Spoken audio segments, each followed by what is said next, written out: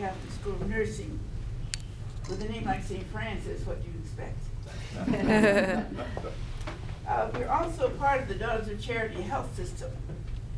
And uh, in California, that's, that means that it's, uh, uh, what, six hospitals? And we're part of it as School of Nursing. And we're also part of St. Francis in Lynwood.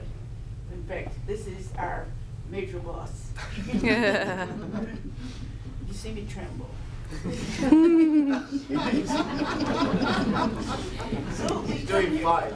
We come here today to bless the new facilities which have been added since the original uh, school, which was blessed by Bishop uh, McGrath in 2002, I believe. And the blessings are ultimately are for people, not for just the walls and the floors. And so we bless today, not the brick and mortar, but all who work and study here, at you, that they may do so in a really Catholic environment. That, you know what that means?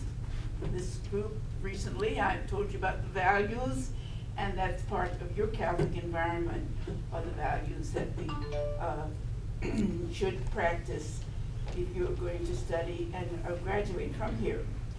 And of course, our prayer is that all who use these facilities will find all the blessings and the help that they need for forming good nurses and for being good nurses.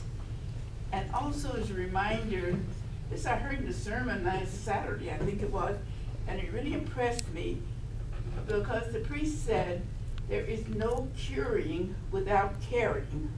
Hmm. And I thought, how true. And that is what we want to do, is to make the difference between care, uh, curing without and with caring.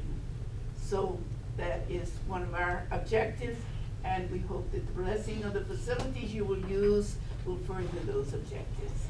Thank you very much.